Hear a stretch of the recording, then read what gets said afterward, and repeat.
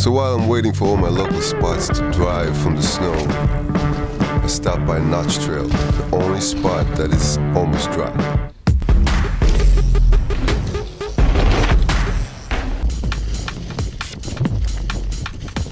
You're new to the channel, this is DH Obsessions, everything and anything about downhill mountain biking and beyond. I'll be going on on a lot of adventures and take you along with me for the ride. So please consider to subscribe and hit the bell notifications so you won't miss any action in the future. So at the moment, all my local spots are covered with snow, but there's only one spot that the snow gets to melt quickly, which is Notch Trail. According to Trailforks, they name it the Fire Tower to 9D, and it's basically connecting to the Mount Beacon Fire Tower.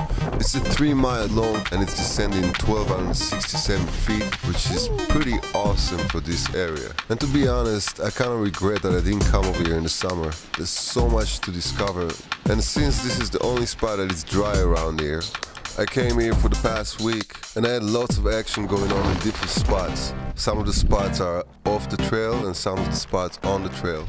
So there's a lot of action and I won't be able to fit in one episode. So this is part one of Notch Trail or Fire Tower to 9D.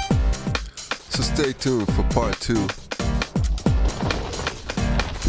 So this is off the trail spot. It's a part that probably I'm not supposed to ride there, but I'm itching for downhill sections. So any downhill sections that I see around here, I'm taking it. Since I didn't get to ride for the past week. Since the nature of the trails around here are more like fire road, so it's a wider trails and there's less trees on the trail, so that makes it wide open and allows me to go fast quicker. The only time I come here throughout the year will be in February or March when all the other trails are covered with snow and unrideable. But this mountain is right next to the Hudson River and it gets tons of sun, so it loses the snow and it gets dry pretty quickly, which is awesome. At the moment it's all covered with leaves, but as you know me already, I'm gonna dial up all these trails, but it's gonna take a lot of work. So for now I'm just gonna scout and try to find some cool sections to session. So I figure out a quick way is to lock my rear wheel and drag the bike through the line that I want to come down. So that way I have some sort of line.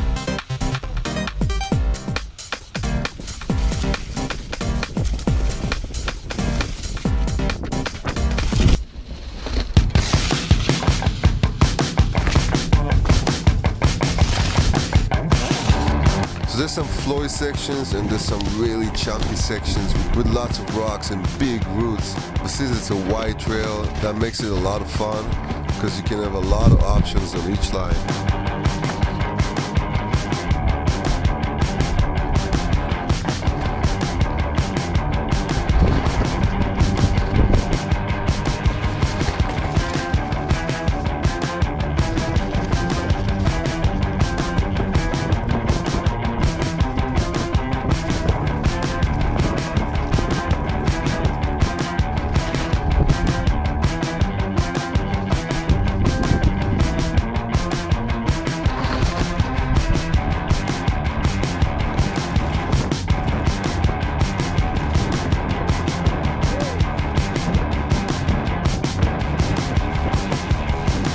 So I had a really good time over here. Getting some nice speed, nice flow. So I called Steve and he brought Evan and we did another six session that I'm gonna have to edit right now. So stay tuned for part two. Smash the like button, leave a comment below. If you're new to the channel, please consider to subscribe and hit the bell notifications so you won't miss any action in the future. And I'll see you on the next session.